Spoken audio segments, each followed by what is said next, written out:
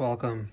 Tonight we're going to be talking about the Bradford Guardian 3.2 in the prototype steel. Uh, first off, this is not my knife. Uh, this was sent to me by a customer. I was curious to know what the hardness was.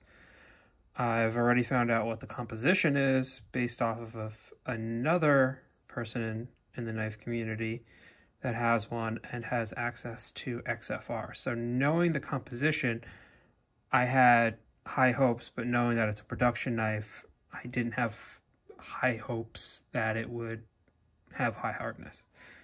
So I went ahead and I poked it five times. I poked it twice on this side, I poked it three times on this side, and I got a pretty disappointing um, hardness of 61.8 six eight as an average. As a five poke average, it ranged from about 61.5 to 62.5 in that range. Um, so, yeah, disappointing. Knowing what this steel should be capable of, um, yeah, it's basically, this is like running MagnaCut at 61. It's just, it, it just loses all its potential. Um, couple other things about this knife that I don't think are the greatest is it's very thick behind the edge. It's about 20 thou down here and about 20 thou up here, maybe about 15 here. Um, and I'm assuming that's probably a 20 degree angle. It has been sharpened once, so I can't really comment on the original factory edge. Um, is the name that they called it. It should not be called that. And it actually has the HH for high hardness. It is not high hardness. This is a wonderful example of a knife design designed by somebody who doesn't know, or not doesn't know, that doesn't use knives. These scales should be pretty much all the way up to proto, right? Because if I hold it like this, I have almost no support under this front finger, right? I'm not going to knock the handle design. My Vulture kind of has a similar-ish handle design, um, but this should be all the way up front. This jimping is too far back. It's pointless. Because um, if I'm holding it like this, and I put my thumb on the spine to take care of, to take advantage of that jimping, I would have to put my thumb like this, which is uncomfortable. It wants to push it forward out of my hand, and there's no support there for my finger. So that's where my thumb would be. Uh, none of the jimping. Uh, you see we still have the um, some of the water jet marks around the perimeter of the blade. Um, these aren't as bad. They've been kind of tumbled out. Um, they're not as bad as, say, um, what's that awesome knife company? Uh, Montana Knife Company that says it's the fingerprints of the knife because each mark is unique, which is total BS.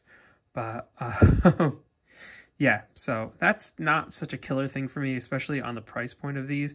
I don't know if this one is around the same, but it's, you know, 209, 220 for one of these. So it's not terrible. It's a reduction knife. I do like, I'll give it a compliment, that there is contouring in this handle. Um, whether it be, it's definitely more comfortable like this than like this. It's a little fat for my pinky there, but if you have bigger hands, uh, it might be different. But if they brought those scales up, it would have been a lot better. And then move that jimping up or just not done the jimping. Jimping looks a little crooked, but uh, I'm not going to knock on that. That happens to me. Um, and then just as an idea, you know, you could buy this as a reduction in a mystery steel, um, which should be an absolutely phenomenal steel if heat treated to high hardness, it would be absolutely insane and I'd be much more excited and I would still gripe about the designs, but it wouldn't be as bad. Uh, but for a similar cost, this should run around $222 currently um, with a sheath, along with this one as well. Um, these are both, both of these are in MagnaCut 64 to 65 HRC. So nice and hard, nice and thin. Uh, they just, they got to go to hand sanding. They just came off the grinder. The other ones over here would be more expensive. But um, yeah, so kind of give you an idea size wise. You get a little bit, you get, yeah, same sort of dimensions. This is supposed to be, I guess, a 3.2 blade because it's called a 3.2. This is a 3. So, um, yeah, better ergos all around for this one. But, yeah, um, disappointing on the Proto Steel. Pretty sure that heat, Peters Heat Treat did this. I'm not sure what their advertised high hardness number was, but um, 61 is not high hardness.